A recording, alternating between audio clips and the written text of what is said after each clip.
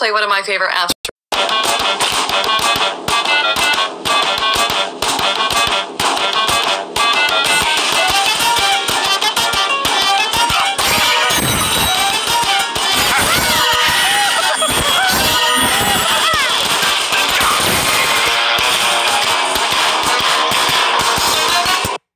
Sorry guys, I had to skip that commercial, so that's why there's um th there has to be a skip for that one.